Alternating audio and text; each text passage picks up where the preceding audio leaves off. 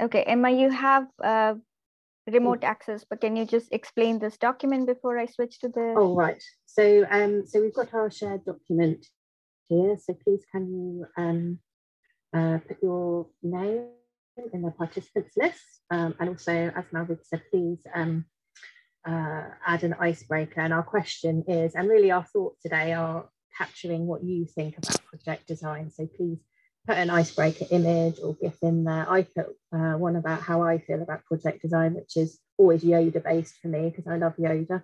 Um, and I always think I'm learning something new. Yeah.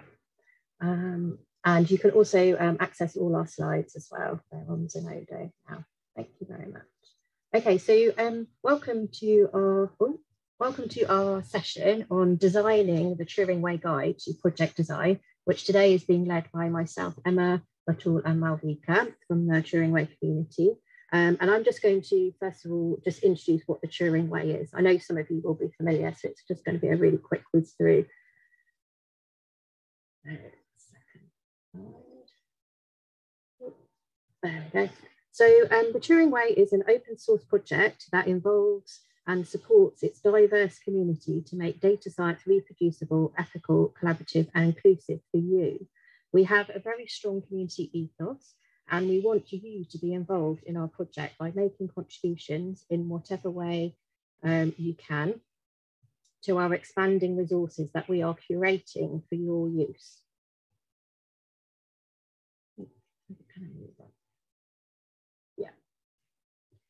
So the Turing Way is not just one thing. Um, it is a book, which is probably how you might know it, but it's also, as I just said, a community and a very diverse community. Um, it's an open source project and also a culture of collaboration.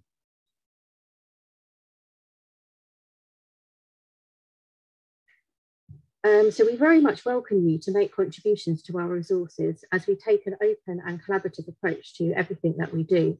Um, we have a code of conduct that sets out how we want um, everyone to interact in our community. And we have information about how you can contribute and how these contributions are recorded on our GitHub repository. Contributions are not just writing, but also having discussions with us, reviewing other people's work, maintaining the project repository, fixing bugs, giving talks like today, and there are many other ways to contribute to this project.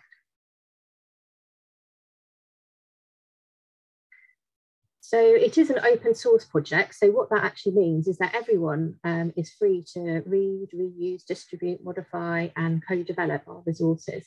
The, the, project actually belongs to the Turing Way community, and it is built on um, open source projects. So you can see some of them here, like GitHub and Jupyter, or Jupyter Book. Um, so the moonshot goal and really the aim of the, of the book, book and the resources that we draw together is to provide a guide that makes reproducible research too easy not to do.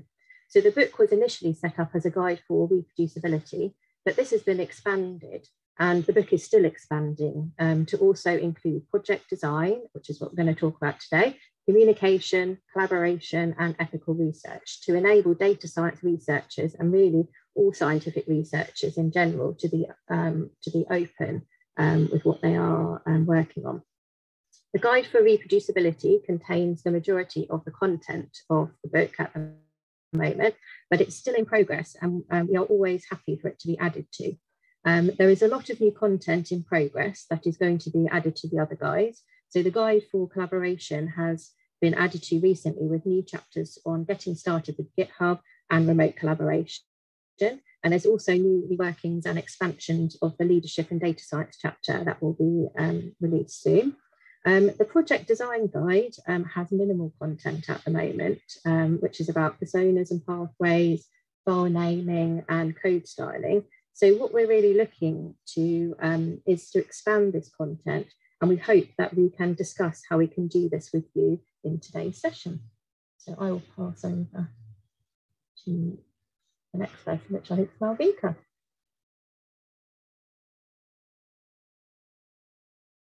Sorry. So yeah, sorry, I skipped the previous slide by mistake, but yeah, we want to talk about project design with you, and mostly because we we want to understand what kind of needs every people in research software engineering, humanities, or people who are in between have Um, there are a lot of topics that are contained within the project design, which start from you know thinking about the project idea, capturing the ways of working, what kind of project management tools and practices will be used, what kind of skills do we have, what expected outcome do we have, how do we measure success, and so on. So I want to quickly give a discussion uh, snapshot from what it was like five to 10 years ago when I just did not even understand what project design is. And all I wanted to do is to code for my thesis. And the, the real problem started when I was very close to finishing my thesis and I had to publish it because now I had to think about, oh, wait, there are things that I did not do. So over a period, my instinct about project design has changed. I have learned more about reproducibility, accessibility, and the, the need to use and build upon our open source work. So it has become one of the priorities for me. Um, Emma and Batool and I had been discussing this for a while now. So what we had been thinking about is to capture some of these project design regrets, mistakes, and lesson learned uh, from not knowing what project design looks like. So what I will ask is, uh, let's take five minutes and I will show you the sheet. We have, uh, wow, amazing gifts. we have a shared note area here and the reflection and five minutes silent share uh, documenting that we would like you to do is capturing what your personal project design regrets, mistakes, and lesson learns are. I will start by saying that mine is not version controlling from the start. Um, and with that, I'll just start, start the clock for myself and remind you in five minutes.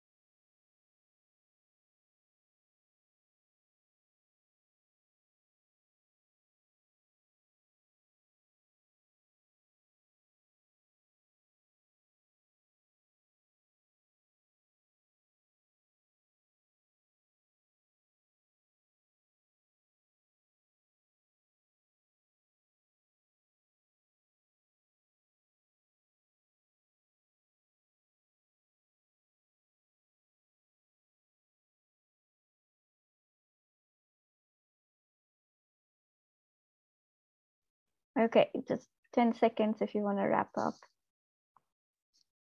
So I'm looking at a lot of familiar uh, points here. Um, I'm just I have uh, summarized it as version control, uh, code review, code testing, uh, data type. I think it was about input and output, like not having a clear expectation, archiving and storing plan, focusing too much on one feature and not dividing the time properly, changing platform or language styles, uh, workflows, lack of workflows, lack of communication of the vision, and lack of documentation. Um, I know that a few of you are writing later. Can you, do you want to unmute yourself and share uh, a couple of examples from your work? So I saw someone writing about governance, I think one of the hardest one. Do you want to share a little bit about it? Sure, yeah, that's that's me. So hi everyone, I'm Liz from the Sloan Foundation. So I'm coming not necessarily from a perspective that's uh, a direct experience, but what from what I've seen yeah. of projects that I um, evaluate for potential funding or you know try to yeah, learn from and understanding some pain points and what i've noticed is that when projects might gain like um, unexpected success, like attraction from potential users and contributors, um, that governance structures break down quite quickly because it wasn't built into the, des- the design from the very beginning on how to deal with new voices who might come in with assumptions of like democratic uh, um, decision making or you know expectations as to how their inputs will be um, processed. Um, so yeah, that that's kind of my um, observation. Just it, it's a great thing to have unexpected success, but but then if your governance breaks down, it might make your life much harder. Yeah, that's an excellent point. I think that also includes the, the lack of definition of what roles and responsibilities different stakeholders would play in your project. If there is no clarification, there could be redundancy of the effort that's being made. Um, I think Dan was writing about community, where the regret is thinking about the community from the start. I think that's that's the best practice, is it, Dan?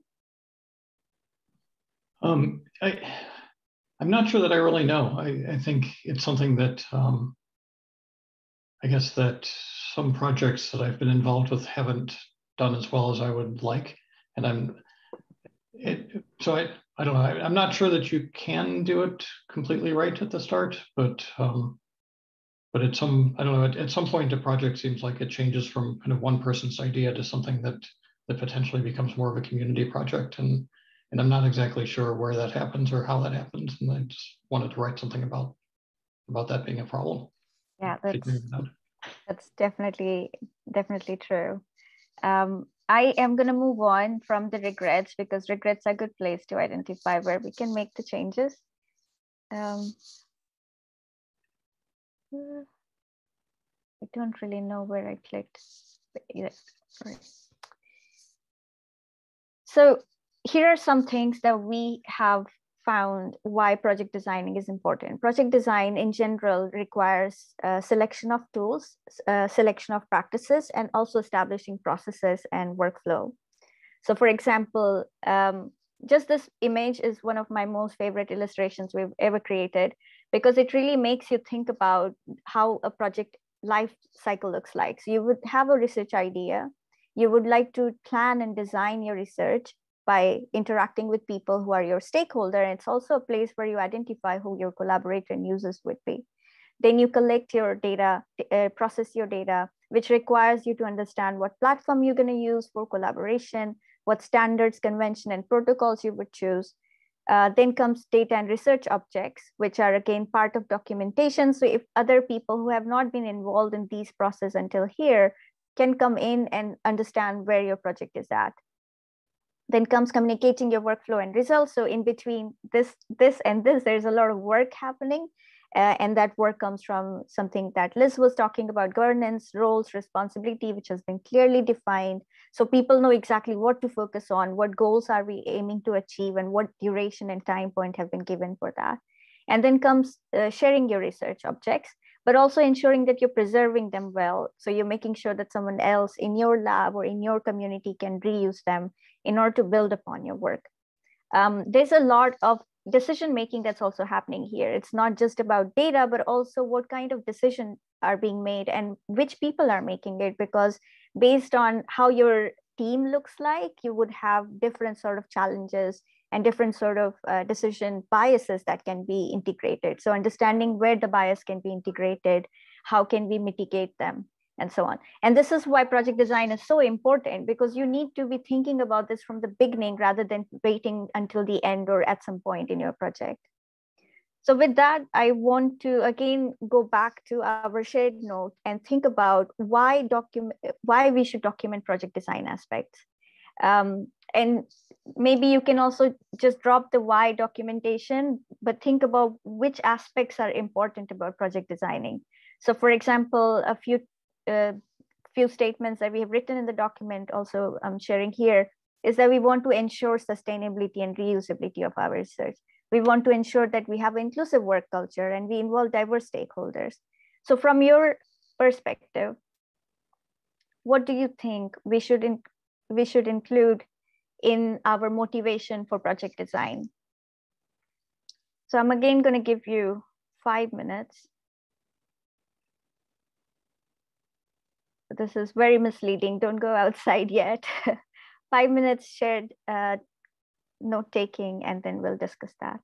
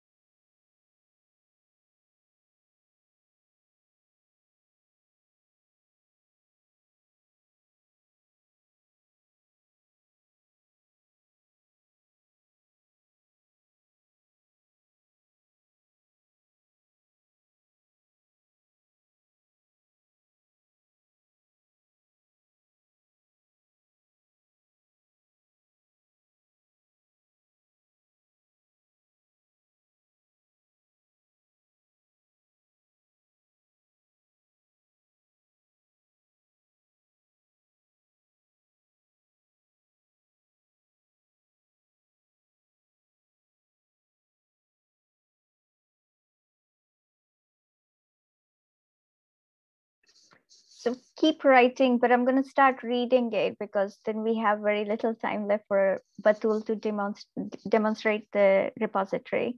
So some of the points that I'm looking at are, first of all, we have thought about that there's a lot of practices which we do, but they are rarely documented. And there's also chances to miss opportunities if we don't step back and look at the project from outer perspective. Enable feature in predetermined and agreed manner, um, allowing informed discussions and when a particular design has reached to it, its end. So it's also about maintenance, sustainability, and also deciding when to archive. Makes work more efficient and collaborative, encourages people to be involved in the project. So when we have clear pathways for engagement and contribution, it's quite easy to maintain it norms and equity. So I totally agree with that. I think unwritten norms are the most dangerous one because a lot of people who are new wouldn't feel empowered to participate in the project in different level if there is too much of hierarchy and uh, different concerns people have about moving project goals. Um, it's hard for a project to move from practices that were designed for one person to practice that work for a team, but it's also essential to document and use practices that work for a team for a project to be successful. So it must be considered from the start how to split the work and how it will be reviewed and what decision will be made. Yeah recognition is super important. If we have identified roles and responsibilities and people know exactly what they are doing they feel recognized and their uh, the, the, transparency of credit would be uh, super useful promoting research reproducibility looking at from the beginning what re research reproducibility aspect we're going to apply preventing potential fallout between project stakeholders because they already have an understanding of where we are collaborating clarity of those who want to join from a variety of different backgrounds. I think this is very important for communities where open source community projects would have different community members entering at different stages. Okay, with that, I will actually let Batool take over. Thank you so much for engaging in these uh, discussions and shared ideas. To you, Batool. Yeah, I'm just going to share screen right now for the Hopefully it's the right one.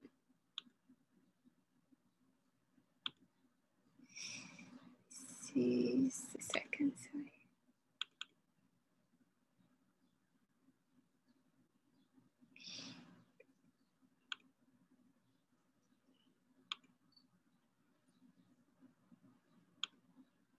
Uh, do you see the issue now, right now, Malvika?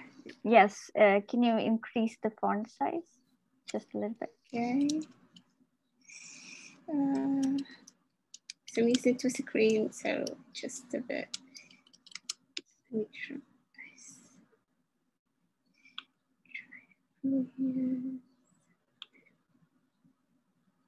Is that better? I think so, yeah. Okay, so this is the issue that we guys have prepared for you to have a go with it.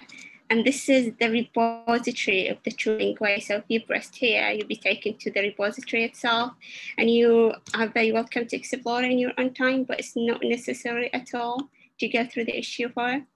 So as Malvika and Emma beautifully explained the Turing Way and the guide for project design, if you did it click here, you'll be taken to the guide for project design. And this is the Turing Way book. And as you can see here, we got all the six guys and one of them is the guide for project design. Uh, we are very, very keen to expand the guide for project design. We've got right now three chapters, but we want to expand more and more. And your contribution doesn't have to be writing a chapter. It can be just an idea or a resource that you've read somewhere and you want it to be added, uh, or you think like other contributor might find it useful. So if you go back to the issue itself, what is it? Did I lose it? Sorry. Yeah, here we go. So the contribution can be anything from simple suggestion for a link or resources that you've read somewhere and you think is going to be useful for a new contributor. Or it could be a blog post that you've written previously or a case study that you've gone through in the internet or in your own project or even a back to story inspired by your own experience. Or it could be that you've gone through the book and you've gone through this chapter and you think it needs to be editing. Uh, it could be, so any kind of these things. In, in the Turing way, we don't count uh, commits and BR as the only way for people to contribute. We value each and every contributors. We use the all contributor specification. So so idea does count as contributions. And if you go back to the Turing way itself, as you can see, we have right now 245 contributors. And if you go to them, you're gonna see everyone is assigned an emoji. For example, Ada here got this emoji, which means she contributed for ideas and planning and feedback. So going back to the issue itself, uh, if you write your own name, the link for the resources that you think is going to be useful describe that resources and under which chapter you think it could be added, you'll be added to the contributor tables. Uh, one thing that I want to highlight that we have our next book dash uh, is in May and the application form is open. And Book Dash is basically um, a book sprint, but it's the most amazing book sprint. And it's the one that I think the way that I got involved with Turing Way was through the Book Dash. So yeah, um, please do sign up for the application form. And that's it. If, and if you've got any kind of question, please feel free to ask. And to you, Malvika, uh, stop sharing. Thank you, Batool. Uh, yeah, so half an hour is not enough to show or discuss a lot of things. Um, this is why we wanted to have this issue open so you can come back to it whenever you want. We are at the moment just finalizing or thinking about what chapters we should in include in there. And this is why this discussion is so important for us that we ensure that your ideas are integrated from the beginning. So you are the users of the things that, that we are developing together. I have also created a HackMD with like lots of links and information that you may need to get orientation of the Turing way. But we have one minute if you would like to ask us any question that could be useful for you going forward.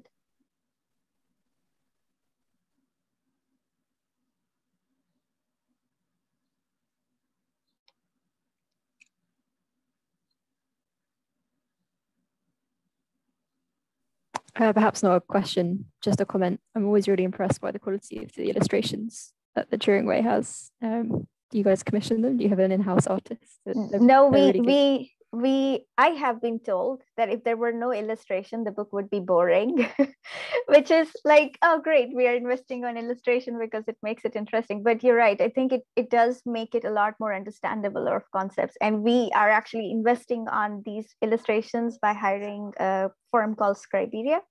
And these images are available under CC BY anybody can use anywhere they want. We are very happy for you to adapt it as well because uh, you know it can be edited. We do have some files which can be edited in Photoshop. Uh, you can ask me for it because it's really large. We haven't uploaded it anywhere, but it's on Zenodo. Thanks, Emily. Please use it in your thesis. Definitely. Thank you. All right. Um, Stephen, is it the end of the session now? I think we're just about drawing into the end of the session. Yes, uh, I've been I've been expecting uh, Rachel to pull us back actually, but it hasn't quite yet happened yet. Maybe she's giving us a little bit of leeway.